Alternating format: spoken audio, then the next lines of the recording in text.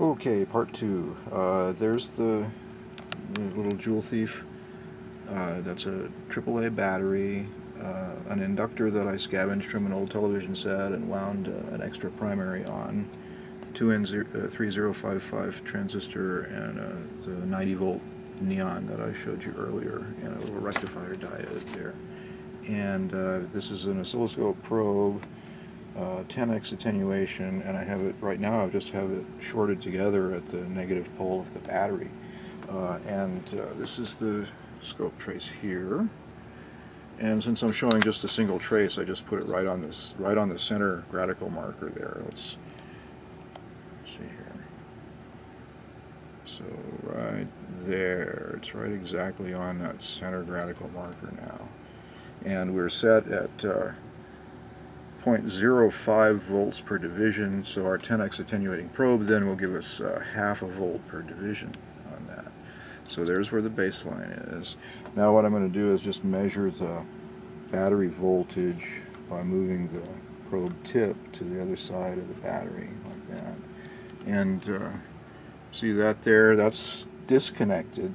And what you're seeing there is just some RF pickup from this other assembly that I've got running right now. But when I hook it up to the battery, that goes away. And you can see that the voltage trace goes up to uh, 1, 2, and uh, about two-thirds full divisions at half a volt per division. So that's showing something a little bit under one and a half volts for the battery. And there's no ripple or fluctuation on top of that unless I have a bad connection somewhere, like take it off. So I'm picking up this stuff now through stray RF. Okay. Anyway, let me go ahead and hook that on there solidly like that. Okay. So now we're seeing the half a volt, one volt, one, two, three, three and a half, almost 1.4 volts on there. And uh, let's take the Simpson digital multimeter here and see what it says about that battery. Same place. And it says, if I can get a connection, whoops. Come on. You try doing this with one hand. It's not easy.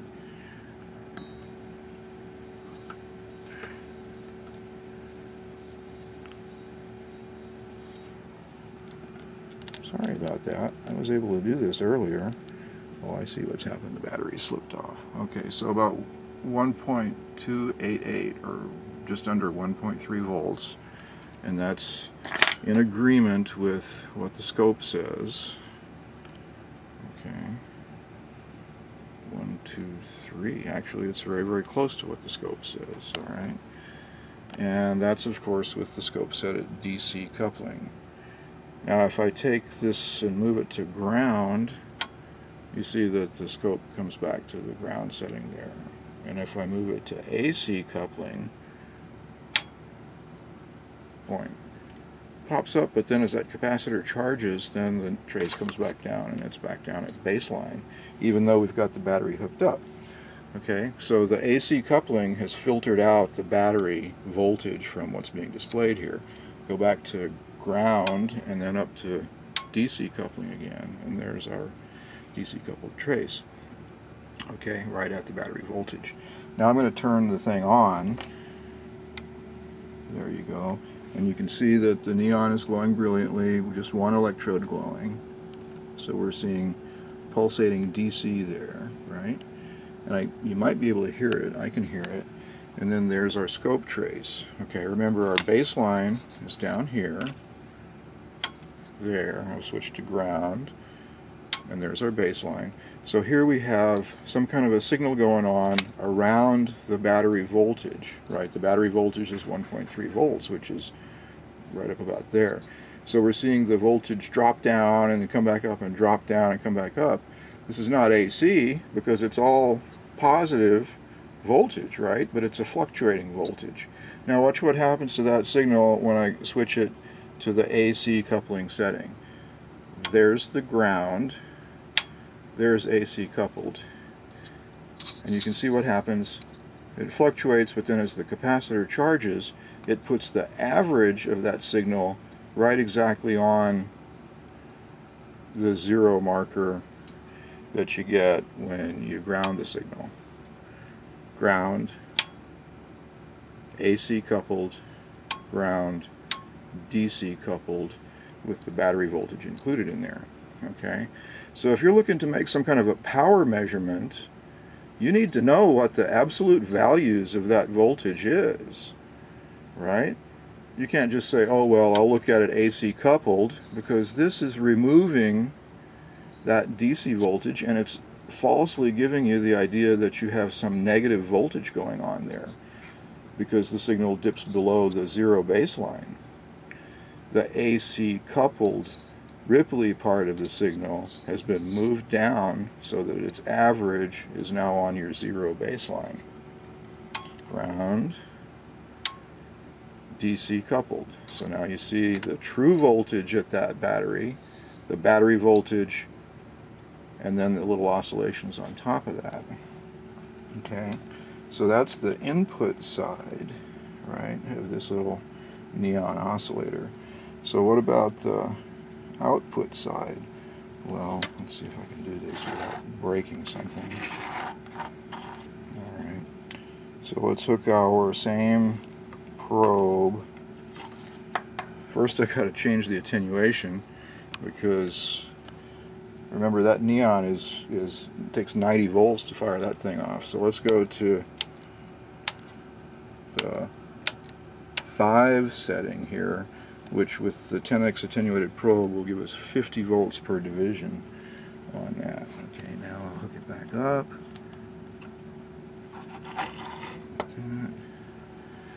And let's see if we can get the trigger back.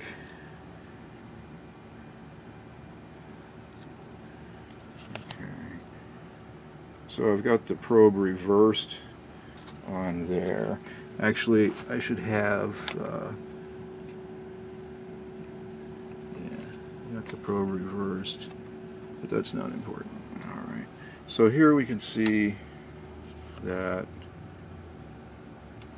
let's see, where's the zero baseline again, right in the middle of the scope, and then DC coupled, we see zero baseline, a great big spike of 50, 100, 150, about 170 volts there, right? We're at 50 volts per division with a 10x attenuated probe.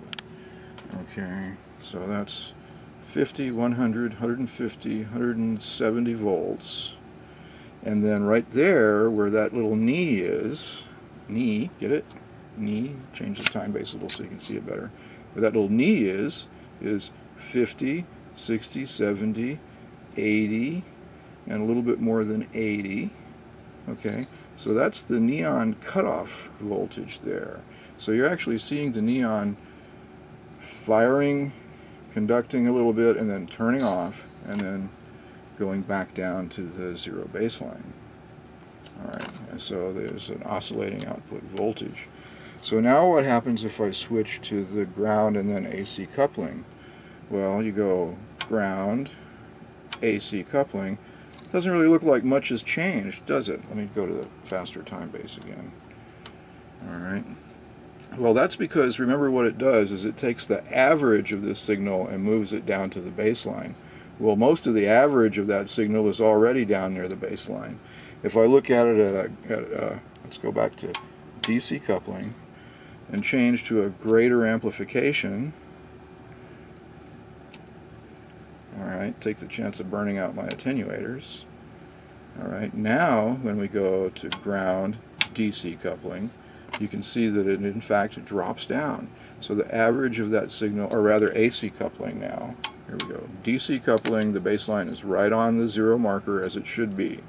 Ground, AC coupling, the signal has dropped down now so that the average of this signal is now on the zero baseline and you've lost the information about what the true voltages are because you've taken that signal and moved it down to where the average is now on your baseline.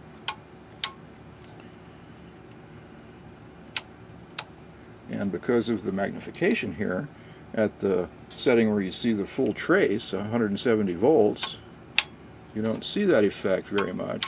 I can just barely make it out. It's about one line width at this magnification. But as I showed you at the other magnifications, it's very clear and easy to see.